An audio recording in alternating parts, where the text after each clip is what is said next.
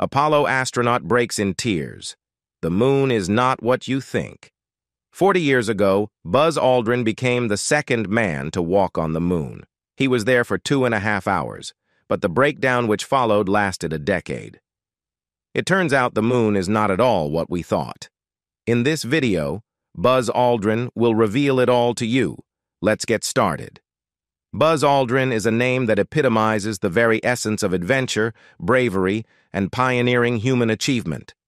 When the words Apollo 11 are uttered, it immediately conjures up images of that historic mission to the moon, with Buzz Aldrin playing a crucial role in its success. He is the man who boldly walked on the lunar surface, danced with the stars in the vastness of space, and became the living embodiment of humanity's unquenchable thirst to explore beyond the boundaries of our home planet. Buzz Aldrin brought a unique combination of academic brilliance and military precision to the Apollo 11 mission. Armed with a PhD from the prestigious Massachusetts Institute of Technology, MIT, he was not just a space explorer, but a highly educated and intellectually gifted individual.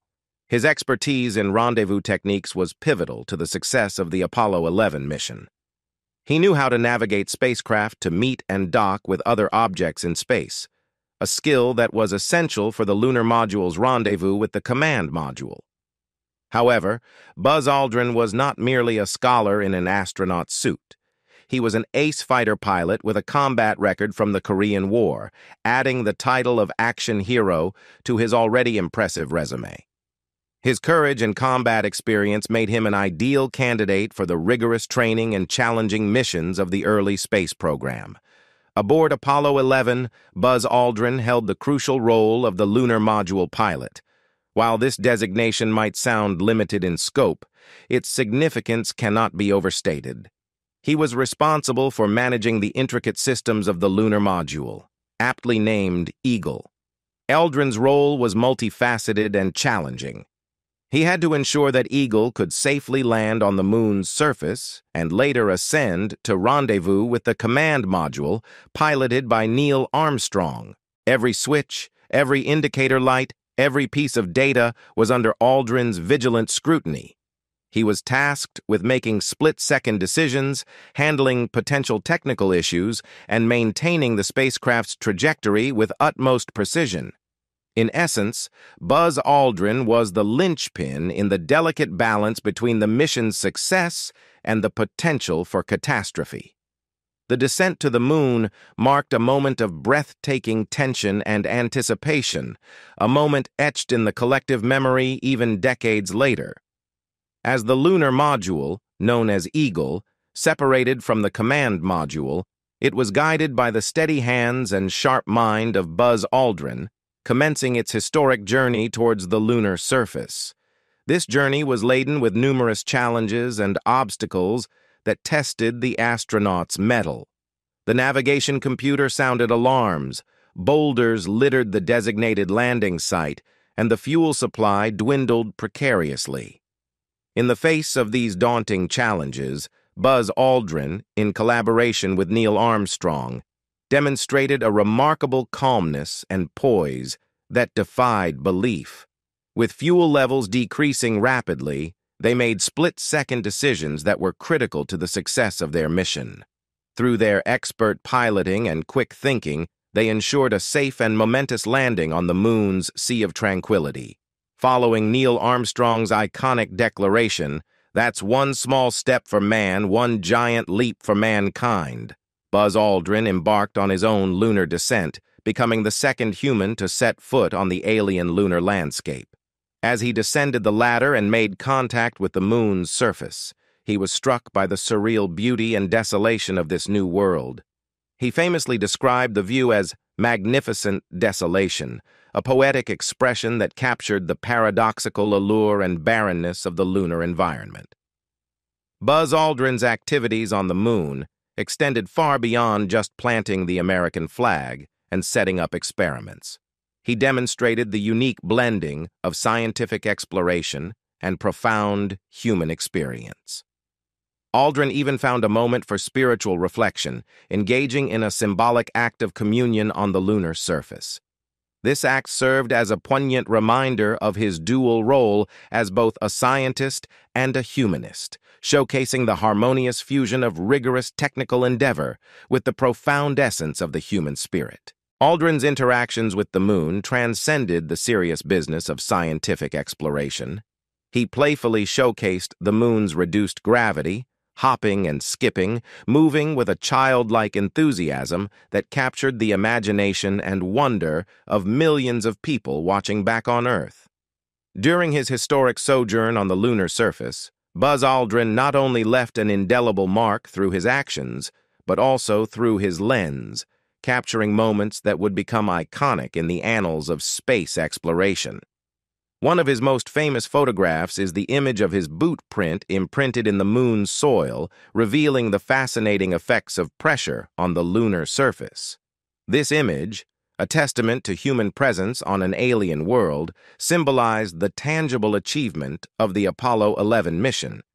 In another groundbreaking moment, Buzz Aldrin took one of the first selfies in space. This seemingly simple act represented a profound shift in the way we perceive ourselves and our place in the universe. The selfie was a reflection of the human desire to document and share the extraordinary with the world. Aldrin also played a pivotal role in one of the most iconic photos ever taken, captured by Neil Armstrong, which showed Aldrin saluting the American flag on the moon's surface. This poignant image, with Armstrong's reflection visible in Aldrin's helmet visor, encapsulated the profound sense of patriotism, achievement, and unity that the Apollo 11 mission represented. Beyond these photographic achievements, Buzz Aldrin participated in a historic phone call with President Richard Nixon. In this conversation, President Nixon congratulated Aldrin and Armstrong on their remarkable achievement, lauding them as the two most famous men in all history. He emphasized that their monumental leap to the moon was not just a personal accomplishment, but a giant leap for all of humanity, a sentiment that echoed the collective aspirations of the world at that time. As their lunar excursion came to a close, Buzz Aldrin re-entered the lunar module after Neil Armstrong, preparing for the crucial ascent.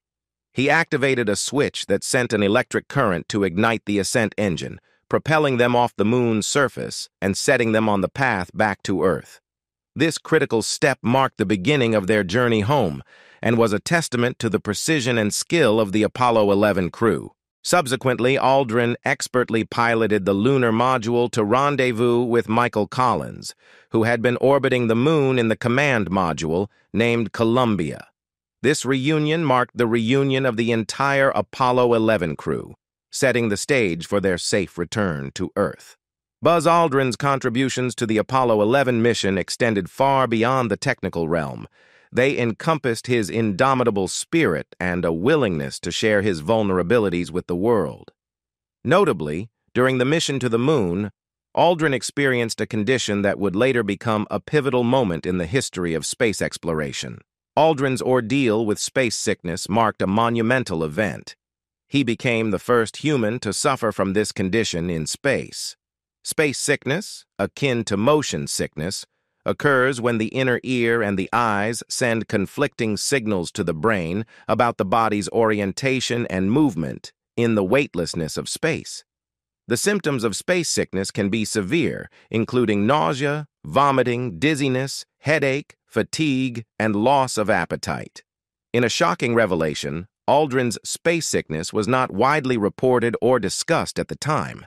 NASA, ever focused on promoting the positive aspects of the mission and avoiding negative publicity, chose to keep this issue discreet.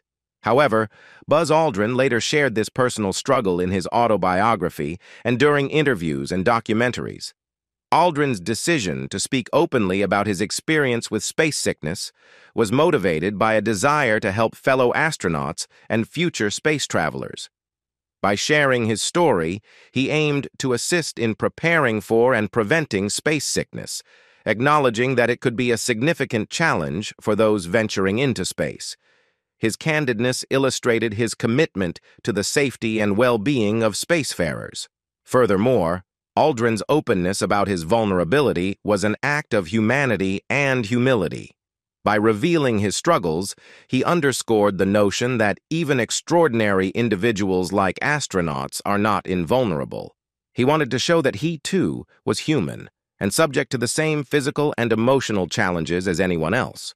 Buzz Aldrin's encounter with space sickness during the Apollo 11 mission was a pivotal and challenging moment, occurring on the third day of the mission while he was engaged in a series of maneuvers and experiments inside the command module known as Columbia. His experiences during this critical phase of the mission were both fascinating and fraught with difficulties. Aldrin's tasks in the command module included testing a sextant, a precision instrument used to measure the angle between two celestial objects, which, in turn, was vital for determining the spacecraft's position and velocity.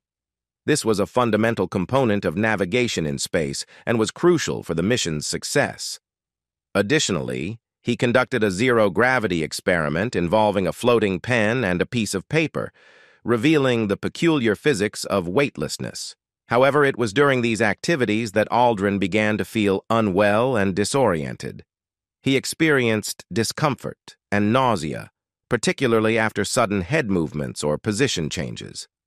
Recognizing the significance of his condition and its potential impact on the mission, Aldrin dutifully reported his ailment both to Mission Control and to his fellow crewmates, Neil Armstrong and Michael Collins.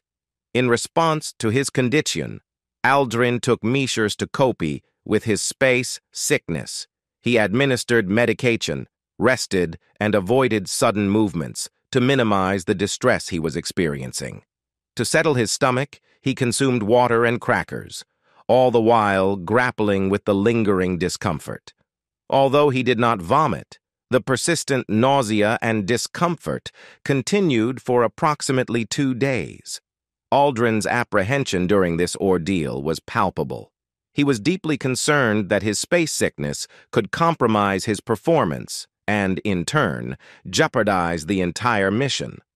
Furthermore, he worried about how the public would react to his condition. As an iconic astronaut and a national hero, he felt the weight of expectations and did not wish to tarnish his image. Buzz Aldrin's recovery from space sickness came as a fortunate turn of events, and it allowed him to fulfill his pivotal role as the lunar module pilot during the Apollo 11 mission. He would later become the second person to set foot on the moon, walking beside Neil Armstrong, and execute his duties without any complications.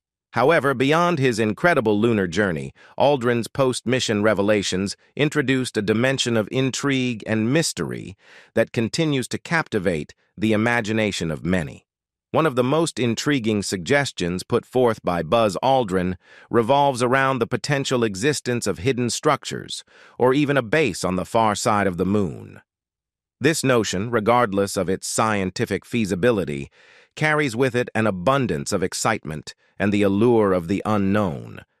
Aldrin's tantalizing hints regarding these lunar enigmas have stirred the curiosity of those who ponder the mysteries of the cosmos.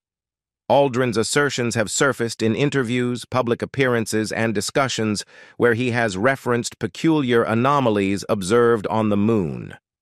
These anomalies are characterized by strange and unexplained structures or formations that defy easy dismissal as natural geological features. Rather, in Aldrin's perspective, these anomalies could be suggestive of something more profound, a hidden lunar base, or the remnants of an ancient civilization, or even artifacts of extraterrestrial origin.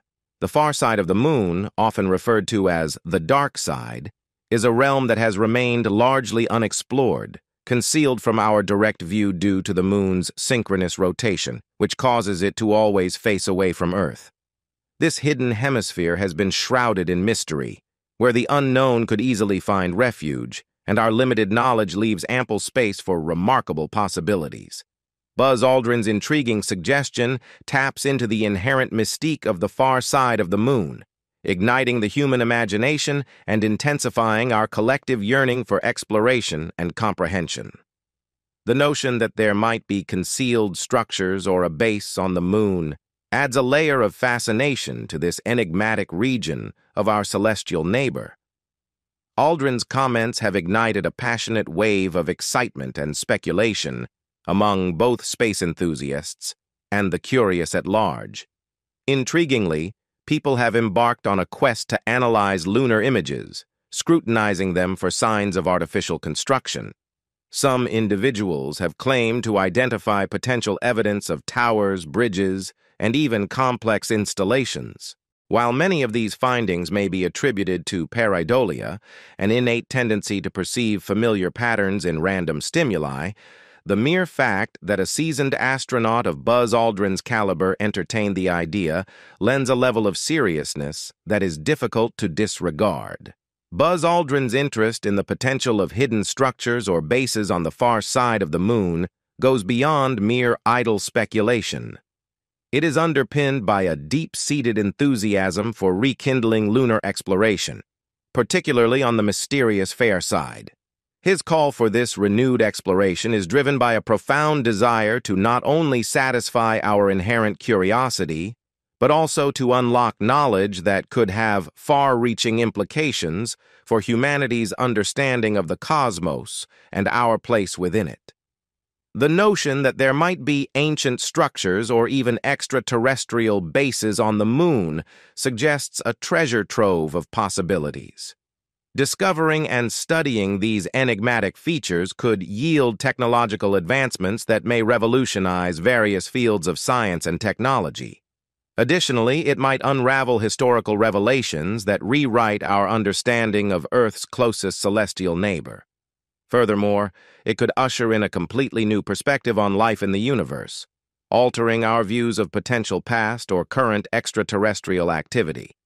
Beyond the scientific and intellectual prospects, Aldrin's proposition embodies a spirit of adventure and exploration that resonates with the dreams and aspirations of the young and old alike. The concept that there could be hidden treasures waiting to be discovered on the moon evokes the thrill of exploration, harking back to the days of intrepid explorers and treasure hunters who ventured into uncharted territories marked with the warning, Here, be dragons. The unknown becomes a siren song, a call to those with the courage to boldly venture into the unexplored, embodying the same adventurous spirit that has driven humanity to reach beyond its limits throughout history. Buzz Aldrin's idea of hidden structures on the moon aligns seamlessly with the insatiable human drive to explore new frontiers, which has defined the space age. The prospect of concealed lunar structures poses an irresistible challenge to the human intellect and spirit. It prompts a myriad of captivating questions. What are these structures? Who built them? How old are they? These inquiries constitute the modern holy grail of exploration, a tantalizing quest that thrills the imaginations of scientists, adventurers, and seekers of knowledge alike. Buzz Aldrin's impassioned call for lunar exploration and investigation is a resounding declaration of curiosity, adventure, and the unyielding pursuit of knowledge. It is a testament to the enduring belief that we have not yet plumbed the depths of all there is to understand about our universe. His call serves as a clarion call that reverberates with those who refuse to accept that we have unraveled every cosmic mystery. It ignites the flame of imagination, inspiring scientists, explorers, and dreamers to continue their pursuit of the great unknown. Amidst the backdrop of lunar exploration, few incidents capture the imagination quite like Buzz Aldrin's account of an enigmatic object observed during the historic Apollo 11 mission to the moon in July 1969. The world's attention was firmly fixed on this unprecedented voyage, where Armstrong, Collins, and Aldrin constituted the triumphant trio representing humanity's first bold steps onto the lunar surface.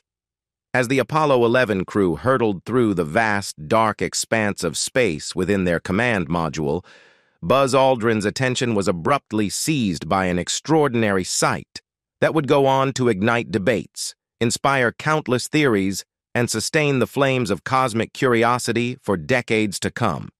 Gazing out of the window, Aldrin's eyes locked onto a peculiar object that was floating alongside their spacecraft. It was no mere fleeting glimpse. This object was undeniably there, a tangible and very real presence in the inky void.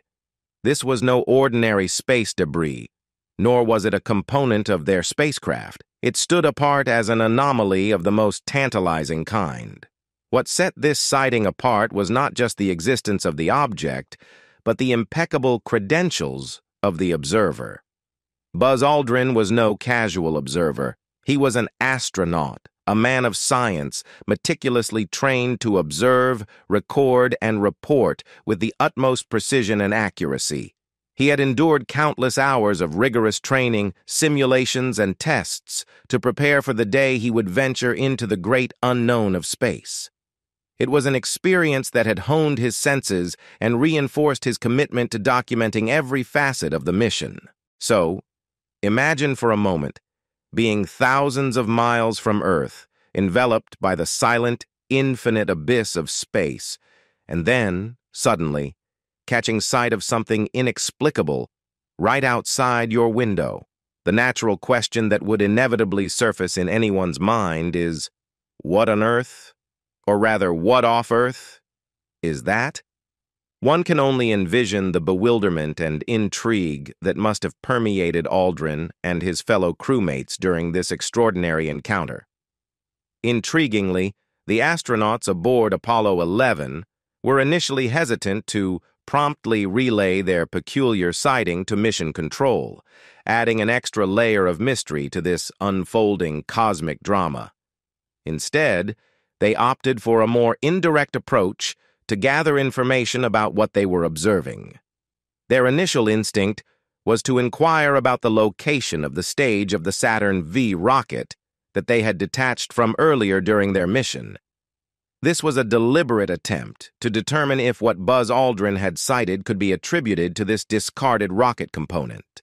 The response from Mission Control confirmed that the stage they inquired about was a staggering 6,000 miles away from their current position. This definitive answer cast aside any possibility that the object Aldrin was observing was linked to the discarded rocket stage. Thus, it was unmistakably distinct from the known components of their spacecraft. The revelation of this information triggered a surge of speculation and conjecture among the astronauts and space enthusiasts alike. Was the object a mere optical illusion, an artifact of light and reflection within the spacecraft's interior? Or could it be something far more profound? Many dared to ponder whether this sighting might constitute evidence of an intelligent entity, perhaps one of extraterrestrial origin, taking a keen interest in humanity's pioneering journey to the moon. The enigma of this unexplained object captivated the imaginations of those who yearned to unearth the truth hidden amidst the vastness of space. What makes this event even more captivating is that Buzz Aldrin did not retreat from discussing the mysterious sighting upon returning to Earth. Instead, he openly shared his account in interviews and conversations. He offered candid descriptions of what he saw, the emotions he experienced, and his personal interpretations of the event. Aldrin was careful not to hastily jump to conclusions, but he was unequivocal in his assertion that he had witnessed something genuinely unidentifiable. His willingness to share this experience added an extra layer of authenticity to the story. Aldrin's encounter during the Apollo 11 mission serves as a compelling reminder that space remains a vast and predominantly unexplored frontier. Even with our most advanced technology and our brightest minds engaged in scientific inquiry, there are myriad aspects of the cosmos that remain enigmatic. Aldrin's encounter underscores the tantalizing prospect of countless mysteries yet hidden in the cosmos, awaiting discovery. The sighting of the unexplained object has prompted many to delve deeper into the mysteries of space, to pose profound questions about the universe and humanity's place within it. It has served as an inspiration to both seasoned scientists and amateur astronomers to keep their eyes fixed on the heavens and maintain open minds, ready to embrace the infinite possibilities that the cosmos presents. In the annals of space exploration, the Apollo 11 mission stands as a pinnacle of human achievement. Yet, it's these unanticipated and unexplained twists that infuse the narrative with an extra touch of magic and wonder, leaving a profound mark on our collective imagination. But the intrigue doesn't end with this particular encounter. Buzz Aldrin's beliefs extend to the notion that Earth is not alone in this vast universe. When one pauses to contemplate the staggering vastness of the cosmos, it becomes almost inconceivable to assume that our planet is the sole harbinger of life. With billions of galaxies, each harboring billions of stars, and each of those stars potentially sheltering numerous planets, the idea that Earth is a unique cosmic anomaly appears increasingly diminutive. Aldrin passionately underscores this point, emphasizing that the notion of Earth's singularity in the cosmos becomes improbable when confronted with such overwhelming vastness. Buzz Aldrin has never been one to shy away from monumental ideas and feats. This is the same individual who, alongside Neil Armstrong, etched history by taking that giant leap for mankind onto the lunar surface. His feet touched alien soil long before most of us had ever contemplated the prospect of otherworldly neighbors. It is his first-hand experiences and the weight they carry that lend credence to his beliefs and ignite our imaginations, pushing us to explore the grandeur of the cosmos. Buzz Aldrin's perspective on the existence of extraterrestrial life is one that mirrors the insatiable curiosity of human space exploration. If humans can venture upon the moon, why wouldn't other life forms, on their own celestial bodies, gaze at their moons and stars, pondering the limitless possibilities that the cosmos offers? Aldrin's fervor for space exploration and his unwavering commitment to deepening our comprehension of the universe are palpable. He has immersed himself in the alien, the otherworldly, and the cosmic unknowns, emerging with a conviction that reverberates through the very fabric of space-time. We are not alone. Aldrin's cosmic perspective is profound. He likens the universe to a vast ocean teeming with diverse species, from the tiniest plankton to the colossal blue whale. If Earth represents just a single drop in this cosmic ocean, it seems preposterous to presume that life is exclusive to that one minuscule drop. The wonders of the universe transcend human comprehension, but each day our scientists and astronomers make discoveries that continually push the boundaries of our understanding. Exoplanets, worlds beyond our solar system, are being unveiled at an exhilarating pace. Many of these exoplanets recede within the Goldilocks zone, that magical region around a star where conditions may be just right for life as we know it.